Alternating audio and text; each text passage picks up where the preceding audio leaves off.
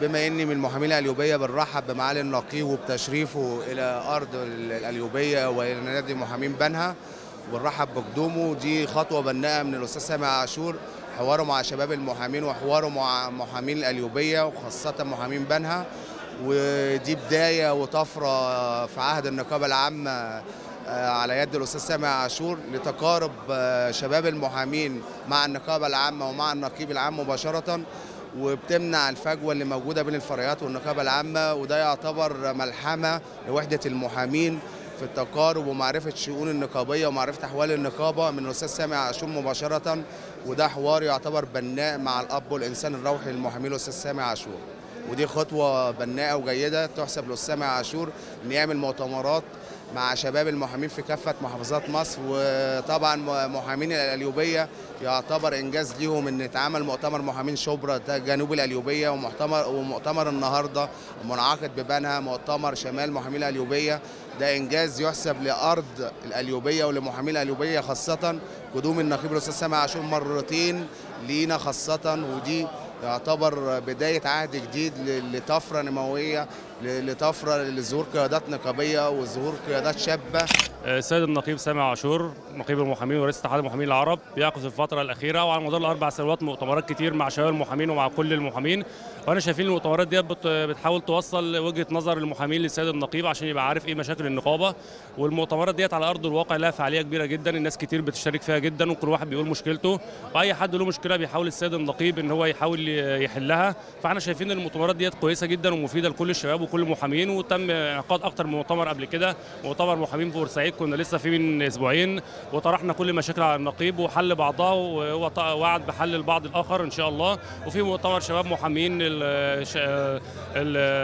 القاهرة الكبرى اتعمل وفي بعد مننا عارفين إن في مؤتمرات تعمل في أسوان وفي الأقصر وفي المنيا. فكل ده تواصل جيد من ارض الواقع لأن مشاكل المحامين مش هتتعرف غير بالاحتكاك المباشر مع كل المحامين.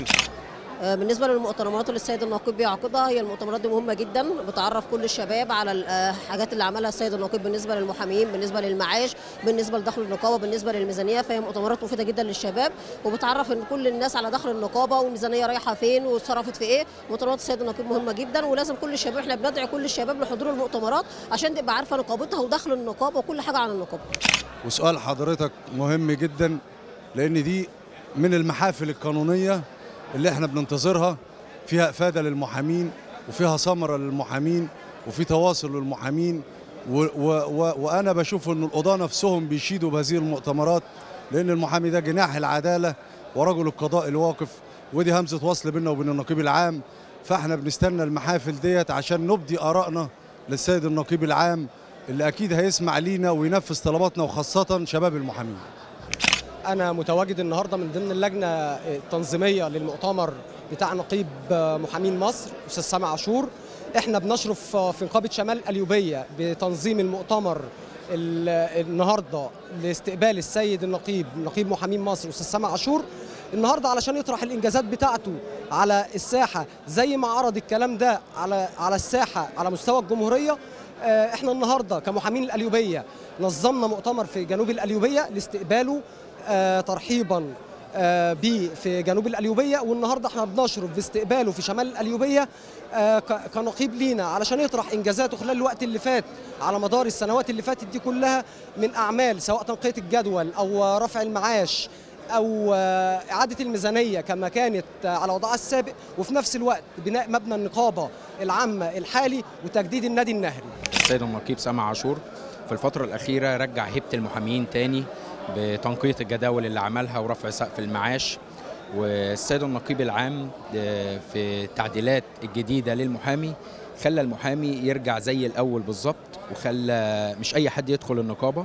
ونظام الأكاديمية اللي هو عمله دوت سوف يطور من أداء أي محامي هيدخل النقابة. بعد كده كلية الحقوق مش هيدخلها غير الطالب اللي عاوز فعلا يشتغل محامي.